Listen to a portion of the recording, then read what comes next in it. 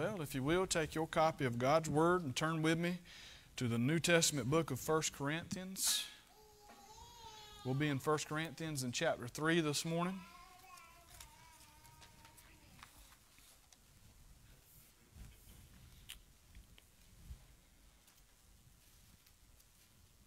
First Corinthians chapter 3. We'll be reading verses 1 through 15. Sound like at least one person is excited about the preaching? Huh? Uh, 1 Corinthians chapter 3, verse 1. When you find that, if you'll stand with me in reverence to reading of God's holy, and infallible, inerrant, His preserved word. 1 Corinthians 3, verse 1 And I, brethren, could not speak unto you as unto spiritual, but as unto carnal, even as unto babes in Christ. I have fed you with milk and you and not and not with meat. For hitherto for hitherto ye were not able to bear it, neither yet now are you able. Verse 3 For ye are yet carnal. For whereas there is among you envying and strife and divisions, are ye not carnal and walk as men? For while one saith, I am of Paul, and another, I am of Apollos, and are you not carnal? Verse 5 For who then is Paul, and who is Apollos, but ministers by whom ye believed, even as the Lord gave to every man? I have planted Apollos watered, but God gave the increase. So then neither is he that planteth anything, neither is he that watereth, but God that giveth the increase. Now he that planteth and he that watereth are one, and every man shall receive of his own reward according to his own labor. Verse 9 For we are laborers together with God. Ye are God's husbandry. You are God's building, according to the grace of God, which is given unto me, a wise master builder. I have laid the foundation, and another buildeth thereon. But let every man take heed how he buildeth thereupon. For other foundation can no man lay that is laid, which is Christ Jesus. Now, if any man build upon this foundation gold, silver, precious stones, wood, hay, stubble, every man's work shall be made manifest, for the day shall declare it, because it shall be revealed by fire and the fire shall try every man's works of what sort it is. If any man's works abide which he hath built thereupon, he shall receive, y'all say that with me, he shall receive a reward. If any man's work shall be burned, he shall suffer loss, but he himself shall be saved, yet so as by fire. Father, in the name of Jesus, God help us, Holy Ghost. We acknowledge you, Lord. Uh, we acknowledge our need. We acknowledge that you are fine, well, you are infinite and we are finite. We need help. It's in Jesus Christ's name we pray. Amen. You may be seated. Well, as I come to you this morning, I come with a, a, a thought and a title this morning. If I were to entitle a sermon, I call it Investing in, in a Reward. Investing in a Reward. Now, I'm sure all of y'all want to invest in some money market accounts and some 401k and some 457. Those are investing terms that we know, right? And I hope that you do invest some stuff. And I hope you make a million dollars. In fact, I hope you make a billion dollars. And I hope you come back to Global Baptist Church and you say, Lord, thank you for that billion. I'm going to give my tenth and I'm going to lay it right here to Global Baptist Church. Boy, I do. I really do. I hope you have a great retirement and I hope that we make lots of money and I hope that we give lots of money as well. I think it would be foolish to say that God's people ought to be poor. But we need to make good investment decisions in life financially. We need to look after our children.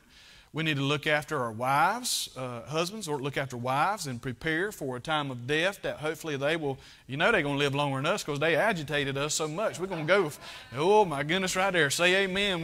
Wives say, get a life, elbow them and say, get a life insurance policy and invest in me. But when we think about investments, many times we've got to think about it from the spiritual aspect as well. We get from God what we put into this thing. Even in building churches and growing churches and growing as a congregation, we're only going to receive what we have invested in. Now, it's one thing to get on the altar and pray for God to do mighty things, and He can, and we must be adamant about prayer. But we have got to be uh, uh, adamant about investing into the community if the community is to come here and to uh, be blessed by the ministry. Uh, we've got to invest. And when we think about investment, I think probably sometimes the hardest thing to invest in is into spirit, our spiritual walk. Why? Because we can talk to investors, they advise us, and we can give money and we can see a projected plan, can't we? And we feel like we can achieve that plan. But with God, many times it's not as clear and objective as exactly what's going to happen at the end of the term. You see, some investment we won't ever see until many years after death. Y'all have seen and heard the testimony of how uh, works of uh, past generations helped us to get this building, and there was relationships that were made that was a blessing here. There are people that are still getting rewards after death. Uh, so it's not as easy, many times a step in faith for spiritual reward one day is harder for us to grasp hold of, isn't it? Because we want security and we want certainty of what we're going to get. Can I just tell you, sometimes stepping out for God ain't so certain. When we stepped out to start this church, boy, it was a scary thing because I'm not charismatic. I'm not an excited person, exciting person to even start a church. This ain't me personality wise. I was stepping out into a crocodile infested Nile River but God has provided, but He only provided after the step was taken. I think about a quote that Adrian Rogers spoke one time. Adrian said this He said, You may ask yourself, what if it costs me? Speaking of serving God, what if it costs me? Well, when Noah drove that last nail in the ark, he may have had nothing left, but when he came out of that ark, he had inherited the earth. Friend, I want you to understand that God told Noah to build a boat and Noah was faithful with what he had. Do you understand that in the days uh, today's uh, money that it would have took millions to have built that boat in that day and time. Do you understand that it wasn't just him and himself, but they, he would have had to hire all kinds of servants to come and build that boat? And can I tell you, what would it have cost to bring all of that nice gopher wood and all of that wood into the desert where there is no trees? There would have been great expense in this. And no doubt when he drove that last nail, or maybe you want to be a man of maybe that last wood peg in that day and time, when he drove that last one, if he had spent everything that he had saved up, was it worth it? Well, you'd probably have to ask Noah after the flood than before it. Because no doubt he was like us when he had drove that last peg, he was probably standing there saying, Lord, you said you would. When are you going to do it? No doubt there was fear and there was worry because he was human just like you and I, and investing something, especially of ourselves and uh, sacrificing deeply for God, maybe stepping out of the workplace in the full time ministry or stepping into some place that God has called you can be very scary. But, friend, I want you to understand it's always rewarding, and God always pays the best dividends to those who invest in Him. We look this morning thinking about that and, and, and, investing in a reward. We look at this passage in 1 Corinthians chapter 3, verses 1 through, 1 through 15. What is going on here is the Corinthians church was a wicked church. It was, uh, uh it was in uh, Corinth, which was a Roman city, and Corinth was a metropolitan area, so there was a lot of cross travel from all over the world that would commute there and then go out on ships. There was a lot of, of shipping that took place, so it was a, a metropolitan, and there was a fake false god temple up on the, on the hill, and there there were uh, uh, false god worship, and they would worship through sexual relations with prostitutes. Well, they were temple prostitutes, right? Man can condone anything in his life if he wants to, but there was great wickedness, and here these people were being saved out of wicked lifestyles, and they were coming together now, and Paul was having to teach them how to live holy and righteous like God.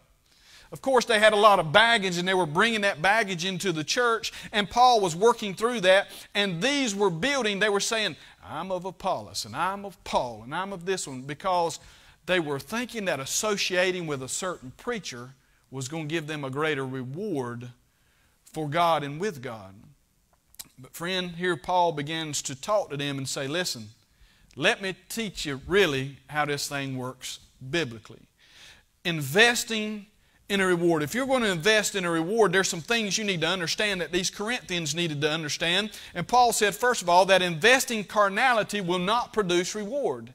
Investing carnality will not produce reward. Verse 1 And I, brethren, could not speak unto you as unto spiritual, but as unto carnal, even as unto babes in Christ. Verse 2 I have fed you with milk and not with meat, for hitherto you were not able to bear it, neither yet now are you able to bear it. They were investing carnality. Paul came and he began to give a spiritual word and began to try to teach in the Spirit, and the people couldn't receive it. Rather than standing up as mighty Bereans who were studying in the Scriptures and able to rationalize and talk the Scriptures, he had to sit them down crisscross applesauce and say, Look here, the great sea parted and the Red Sea parted. To, he was having to treat grown adults as if they were toddlers. And friend, I want you to understand that Christian carnality will not be rewarded by God. We should be growing and, and we should be developing in our faith. And we should today be more grounded in God's Word than we were when we were saved out of sinfulness. There's the expectation that Paul had that you as Christians should be growing and maturing. Many times we get tired, don't we? Many times we want to give up. Many times we, we teach Sunday school consistently for a year or two years, and we get tired and wore out, and we think if we just lay back for a while and quit for a while. But, friend, I want you to understand that what you need not is not quit. You just need to rest a little bit sometimes. See, this isn't something that we quit, but we continue to advance and progress in our Christian walk and grow closer to God. And, friend, many times people bring carnality, and carnality will not produce reward. The Corinthians were an immature people, as you see in verse 1 and 2. They were immature in the faith. He was feeding them like a baby. Back there drinking her bottle. Wasn't that a good illustration this morning? She's chomping down on that milk. And what would y'all look like if I just broke out some bottles this morning and gave all y'all a bottle and y'all are up there just drinking on your bottles of milk this morning? Uh, it wouldn't look very mature, would it? And that's what Paul said that these look like. He said, I can't bring good meat to you because you're still on the milk. Carnality will, ne- will never produce reward.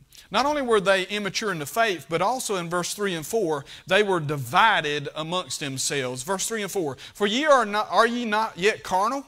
For whereas, verse 3, there is among you envying and strife and divisions, are ye not yet carnal and walk as men? For while one saith, I'm of Apollos, Paul, Apollos, uh, Paul and another Apollos, uh, are you not yet carnal? What? There was division among them. Friend, you want to know a church that's not going anywhere, that's not, that's not uh, positively moving forward, is one that's fussing among the congregation. This side against that side, or that one against this one, and there's a lot of division and carnality and fussing. I've been there. And I've been in some churches, and there, I've pastored some churches, and some of those churches uh, from way back when are still in the same shape today. I can talk to preachers that go in, they'll talk to me a little bit, and you know what? They've got the same carnality that they had 15 years ago when I pastored them. They've not advanced, they've not moved forward, and they will not move forward until they move past the division and some of the ungodly acts that are going on. Uh, we see here that they were divided. They were divided because they were saying, I'm a Paul. Paul was a great preacher. Boy, I'm telling you what, he'd hammered down. You'd see Paul and he'd have a black eye and a broke arm in a sling and, and lipping around and say, Paul, Paul, what happened to you? Oh, I just been in revival down at Corinth, just uh, got a few souls saved because he was a roughneck and he'd go into hard places and preach hard. And then Apollos was a great orator. Uh, he was a great speaker. He was polished. He was much like I am not. He was polished and just said the right words. And they were associating with different personalities and thinking that that was going to give them greater reward. They were divided among themselves, and carnality will not produce reward with God. Secondly, uh, investing uni- uh, unity will produce reward investing unity will produce reward. Uh, for, uh, we see it in verse 5. Look at verse 5 with me. Who then is Paul and who is Apollos but ministers by whom you believe? Even as the Lord gave to every man. Paul and Apollos, it's not that they're lack of importance, but it says, what are they? They're not gods to be worshiped or identified with, but they are simply the servants of God who came and won you. What do he say, verse 6? He's talking about the unity of all working together. I have planted, Apollos watered, but God gave the increase. He's speaking about the unity of our mission to work in our ministry and to work for God, that we would all work together for to accomplish the same goal of Christ being lifted up. Verse 7 So then neither is he that planteth anything, and neither he that watereth, but God that giveth the increase.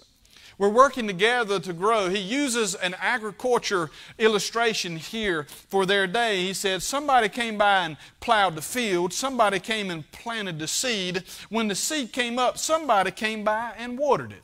Uh, while we're there, I would like for somebody to go back there and water those Christmas uh, uh, holly bushes or uh, poinsettias that's back there because uh, somebody planted them, somebody grew them, but somebody ain't been watering them because they back there and they like this right here and about dead. Uh, anything my, well, I'm going to leave that alone. Anything, anyway, well, anyway, you got to take care of a plant and somebody ain't doing their job. We either go to the dump with them or if somebody is uh, feeling, uh, you know, like you need to save something, it might be a good time to go get them plants because they look pretty bad, okay? We look and we see here that what's happening, that he's talking about the unity of the ministry, that we're all working together, quit with the division, because unity will bring reward where uh, diversity or division will not. So we see that and we think about unity producing reward. Let me read to you 1 Corinthians chapter 12 because Paul uh, speaks in 12, he speaks of this. 1 Corinthians 12 and verse 12. For as the body is one and hath many members, and all the members of that one body, being many, are one body, so also is Christ. For by one Spirit are we all baptized into one body whether we be Jews or Gentiles, whether we bond or free, and have been all made to drink into one spirit. For the body is not one member, but many members. If the foot shall say, Because I am not of the hand, I am not of the body, is it therefore not of the body? And if the ear sh shall say, Because I am not the eye, I am not of the body, is it therefore not of the body? Verse 17, if the whole body were an eye, uh, where uh, were the hearing? If the whole body were hearing, where were the smelling? Paul uses the analogy that we as Christians should not be divided because we all have different spiritual gifts. We all have different spiritual gifts to bring to the table. Uh, now, uh, some of y'all are good at construction work, and y'all have been great for doing some of the construction work around here. I have learned that some people do not have the spiritual gift of painting. Yep, we've had pe other people from other churches come here, and they'd be trash all into painting stuff. They were good, but they weren't the best painters. We all have gifts. Some can preach, some can't preach. Some can sing, some can't sing. If you can't sing, don't try to sing. Say amen right there. I've seen people that tried to sing that couldn't sing that sure tortured everybody, but everybody had to lie the, lie in the congregation say, oh, that was good. Right? But what he's saying, he's saying that we're all one body, and some are hands, and some are feet, and some are legs, and some are eyes, and some are ears, and we need all to, to actually produce something. And friend, I want to tell you today that what Paul is saying, that unity will produce reward. We see, first of all, carnality will not produce reward. Secondly, unity will produce reward. But thirdly, in verse 8, the latter part, I want you to see that reward will be individually given. Reward will be individually given. Look at verse 8. He says in the last part of verse 8, uh, he says, And every man shall receive his what? Own reward according to his own labor. Well, what he's saying is now he has told them, he said, Now listen, we're all in this thing together. Don't be choosing Paul and don't be choosing Apollos. Don't cause division. We're all in this thing together. We're all working for a common goal and uh, we are all working uh, to produce something together. We all have a common purpose. But we don't, won't all have a common reward. Because your rewards will not come as a corporate body, but your rewards will be individually given. So what he's saying is that by associating with Paul or associating with Apollos does not mean that you're going to have a bigger reward just because Paul's got a bigger following or that Apollos has a bigger fo- following. You will not have a greater reward just because you were Baptist or because you were Pentecostal, because some, one group was bigger than the other. Oh no. You're working for a common goal, but you are going to be individually rewarded by what you have done by your merits, not by someone else's merits. And that's what he's showing us here in verse 8. He is showing us, uh, in verse 8, he's teaching us uh, that uh, we are united in purpose, but we are individually uh, going to be rewarded. Verse 8, read it again. Now he that planteth and he that watereth are one. See the, the, the united purpose? And then and everyone shall receive his own reward according to his own labor. We see individual reward. And after he shows us this, this individual reward, let's speak about, he speaks about reward that we're going to receive individually in verses 9 through 11. Verses 9 through 11, we see that reward will be given according to God's judgment of our works. Reward is going to be according to God's judgment of our works. God is going to examine our works. Verse 9, for we are laborers together with God. You are God's husbandry. That is an agriculture term. It means you're God's field. He's plowing you. He's planting you. He is watering the field and taking care of the field. You are God's husbandry. You are God's building according to the grace of God which is given unto me, a wise master builder. I'm building, I'm a master builder. I have laid a foundation, and another buildeth thereon. But let every man take heed how he buildeth thereupon. For other foundation can no man lay that is laid, which is in Christ Jesus. Probably most likely uh, the leaders and preachers are being spoken to here when he's talking about this. But what he's saying, Paul is saying, we are all working together, but we need to individually be careful how we're building on this same structure. Paul said, I laid a foundation. Others are building the walls. Others are going to put on a roof. Others are going to shingle. Some are going to put into windows, and some are going to put on the outer furnishings of the house. But let everybody that's building on this same thing, Christ Jesus, let him be careful how he builds because you don't want to get the wrong siding or the wrong color on the wrong house we are going to be examined. God is looking and God is examining and is cautioning these to be careful how you're building because you Corinthians, right now, you're carnal. Can't even feed you the word because you're carnal. And now you've got all of these divisions and arguments over things that are not even spiritual arguments. You're not being rewarded because you're not even building on the right foundation. You're making a mess out of the house, is what he's kind of getting to here as he speaks to them. Remember now, we're talking about reward will be individually given. Uh, reward will be given according to God's judgment in verses 9 through 11. He's going to examine our uh, works, and our works must be in Christ Jesus. Now, I think our welfare system is, is a good thing to some degree. It is manipulated and misused in a lot of ways. But there are a lot of social workers who are, who, who are doing a good deed. But, friend, I want you to understand that just being a social worker for the government is not the same as building on Jesus Christ. The, the person that has the canned food delivery on, in the church is doing works for Jesus Christ and trying to get the gospel in. The social worker, for the most part, is making a paycheck to take care of Uncle Sam's business. We're taking care of God's business. We're going to be rewarded for what we have done for Jesus Christ, not what we have done ultimately just in the natural realm of our living. Uh, we see here not only that, uh, God is judging our works, but God will judge between our good and our bad works. Verse 12, God is going to judge between our good and our bad works. Verse 12, now if any man build upon this foundation gold, silver, precious stones, wood, hay, or stubble. What do we see? We see good uh, works and we see wicked works here. Uh, what are good works? Gold, silver, precious stones. Those are things that last. Uh, I've seen recently on Facebook, I've seen uh, where they had dug into some of the, uh, the tombs of the Egyptians and they found some of the oldest gold that they've ever found that was thousands of years old. It's not more than 6,000 years old because we believe in a young earth theory, right? But nonetheless, I'll just throw that in for no reason, but uh, uh, just to, to put that in there. We don't believe in eons of time and billions of years. We understand scripturally that the world uh, is roughly 6,000 years old, and that 7,000th year is when Christ is going to come in and rule for a thousand years, seven, God's completion number of completion.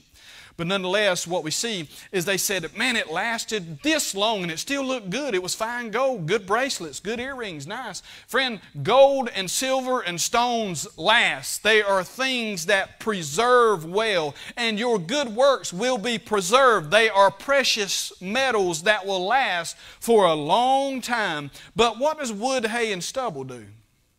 It don't last long, do it? It rots down, it deteriorates. And friend, good works are works that are done for Jesus Christ and they're going to last for eternity. But those things that are just done are not going to last very long. You see, the sad thing is, is that we can come to the house of God uh, even on a regular basis and come just to be here, and that be wood, hay, and stubble.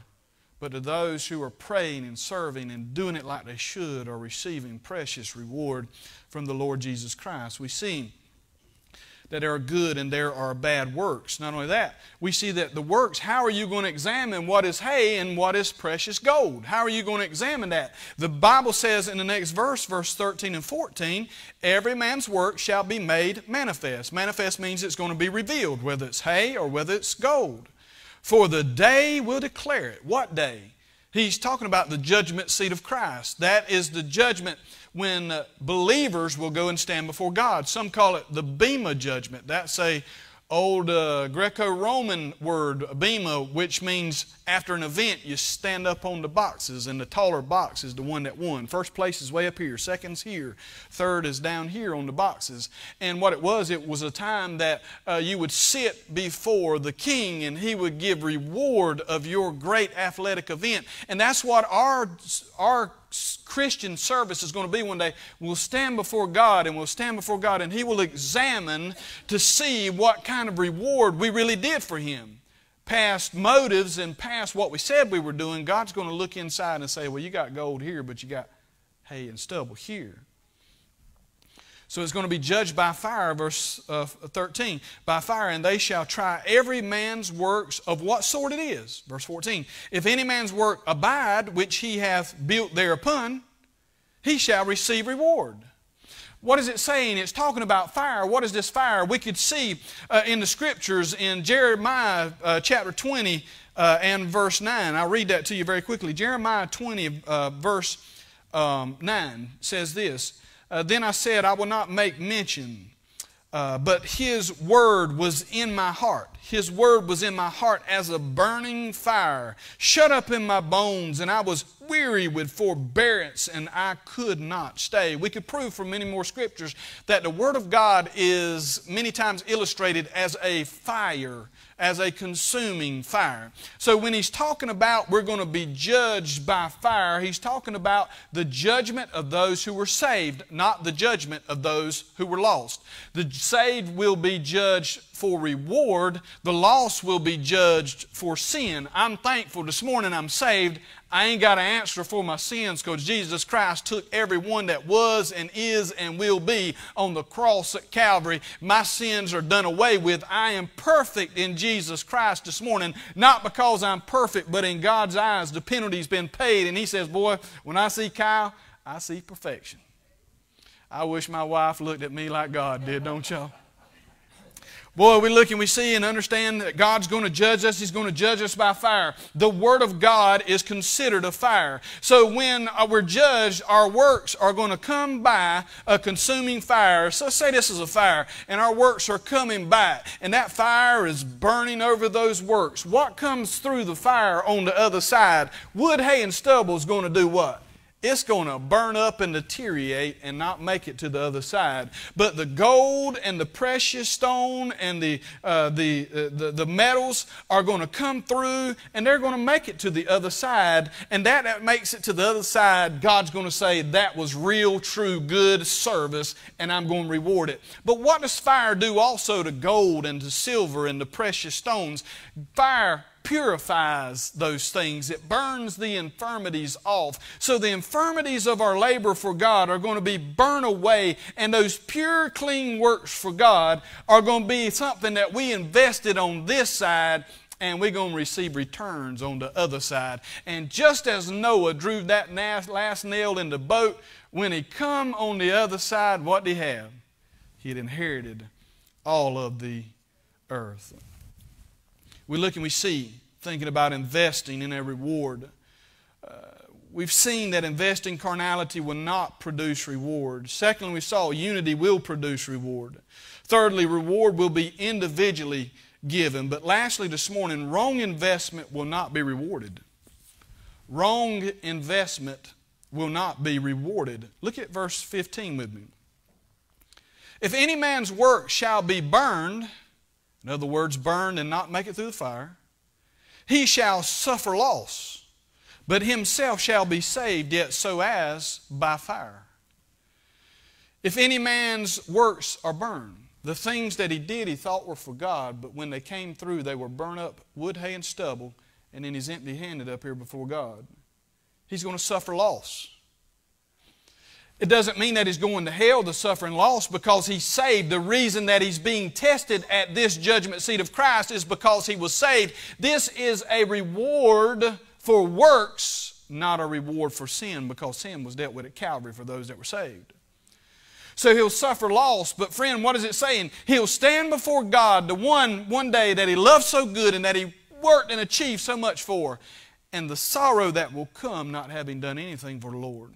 Friend, if we could keep, if I could keep this on a daily attitude that one day I'm going to be sorrowful before God because many of my opportunity was failed because I had lived worldly or I had done things just to do them rather than to do them for God. Friend, one day the investment to the spiritual is going to matter and the investment to the rest of the world ain't going to make one hill of beans to us. Go talk to some of those that are laying in a hospital bed this morning that are gasping for breath, that are fixing to meet their Maker. And ask them if they wish they'd have worked another overtime uh, hour at work. Ask them if they had worked quite so efficiently to try to get 30 more cent on their evaluation at the end of the year. Ask them those questions and see if they say, Boy, I tell you what, I wish I'd have went on that storm break and made that other thousand dollars 20 years ago. Never heard that before. But they've always been pleased with their service for God or either sorrowful that they have wasted so much time now that they're fixing to see and be evaluated and to be judged. Many, it says, will suffer loss. Wrong investment will not be rewarded. Wrong investment will not be rewarded. You've got to be investing in Jesus Christ and surrendered to Him. I think about some wrong investment. And I think about Jonah. Do you remember Jonah in the Old Testament? Jonah went down and to Tarshish. He was told to, to go and preach the gospel, uh, preach the word to, um, uh, to Nineveh.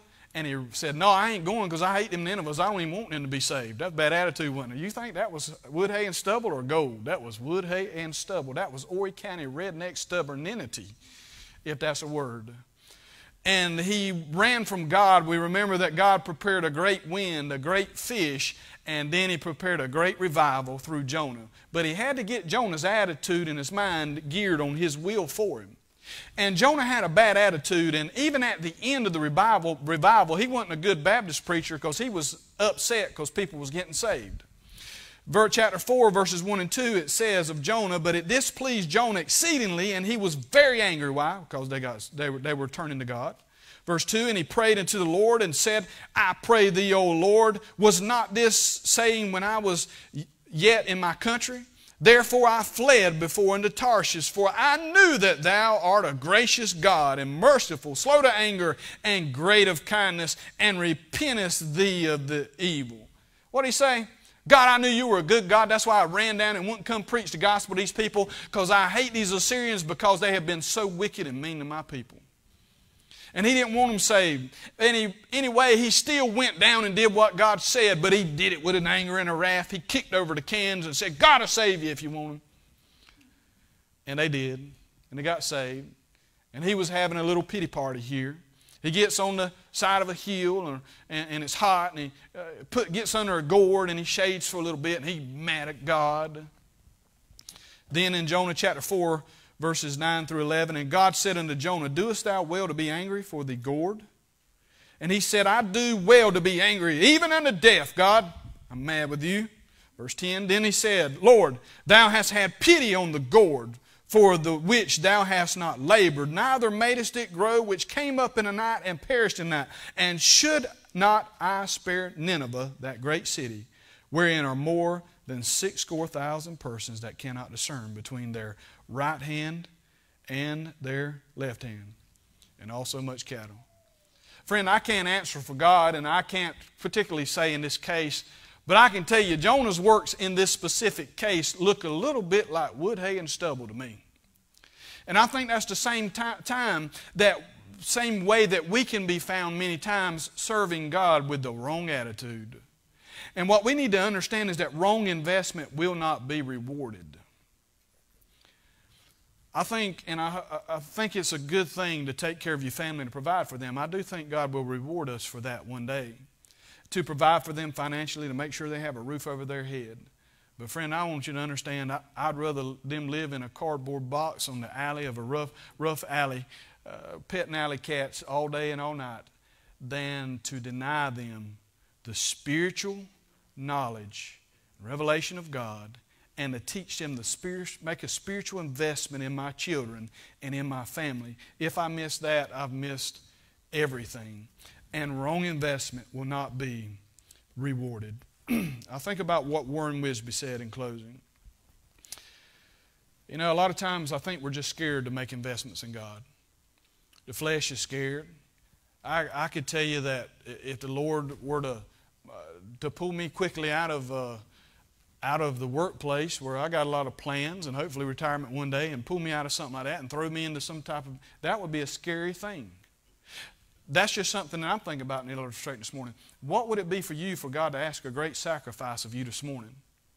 For some, it would be salvation to leave their sinful life and to come unto God and leave that behind. That would be a great task for some people just to receive salvation.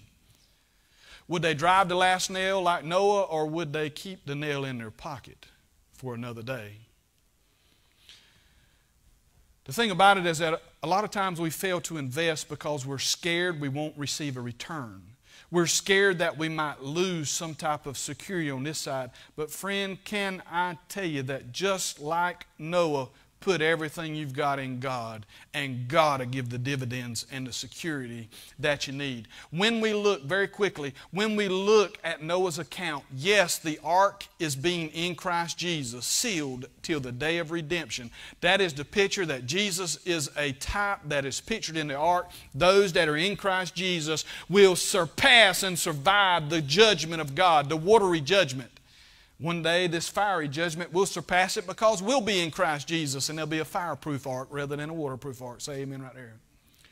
But also in this, when I heard Rogers' statement, it brought me and it brought something, an idea to me that I think is true. That not only do we see that in Christ Jesus it surpasses the judgment of God uh, as it did with Noah, the watery judgment, but also the works that are done in Christ Jesus will surpass and come to the other side of God's judgment. Noah put into this ark, he invested in this ark, he worked. Friend, I want you to understand what a picture we have there that everything that we do in and for Jesus Christ are not going to perish in the flood of God's judgment, but they will be there with us on the other side and be rewarded. Can I tell you, God be the best investment that you could decide to make this morning in life? Warren Wiersbe said this, thinking of being scared to step out into God's will for your life. God's will will never lead you where God's grace cannot keep you and God's power will not use you. Every head, every bow, eye closed as we come this morning. Ask the musicians to come and prepare to play softly. We come to decision time this morning. We've heard the Word. We've been challenged by the Word. No doubt the Holy Spirit speaks. He speaks to believers and He also speaks to those who are unbelievers. And this morning, no doubt, a, a message uh, like this is challenging to us all. Challenging to me myself. Friend, this morning is your opportunity to make a decision. You've been putting things off for a long time. You've said, I'll do it later, I'll get it later, I'll do that later. And you keep putting it off. And if you put it off this morning, you know what? You'll be the same shape months from now because you didn't come and yield to God. This altar is open this morning for those who maybe need to come talk to God. Maybe you need to get some things right, some things cleaned up with God. Maybe this morning you need to just come down to God. Talk to your accountant for a little while and ask him how you need to be investing spiritually for him. Maybe you've been struggling. Maybe the devil's been on you. Maybe you've been wearied by God calling you to step in some type of ministry or to some type of work for Him. And you've been scared to make that final step. Friend, can I tell you this morning that this morning would be a good time just to go ahead and come down this altar and say, God, what would you have me do? I yield myself to you. Lord, whatever it is, I give it to you, Lord. Lord, I take my last nail and I put it in your boat. Lord, I want my works to be for you and not for this world. Maybe you're here and you've never been saved by the blood of Jesus. Maybe you're not sure of your salvation this morning. To not be sure is to not be saved, friend. Maybe you come down this morning and say, God, forgive me a sinner. God, I yield to you. God, I understand now that this world is fleeting. It's wood, it's hay, it's stubble. It's going to burn up, it's gone. God, I want something that's going to last. I want eternal life and I want eternal works. Lord, I yield myself to you. Maybe this morning you say, God, save me a sinner. I believe in Jesus by faith. Would you be saved this morning? Father, in the name of Jesus, we love you, we thank you, we praise your name, Lord. God, have your, your holy will and way this morning. It's in Jesus' name we pray. Amen. As we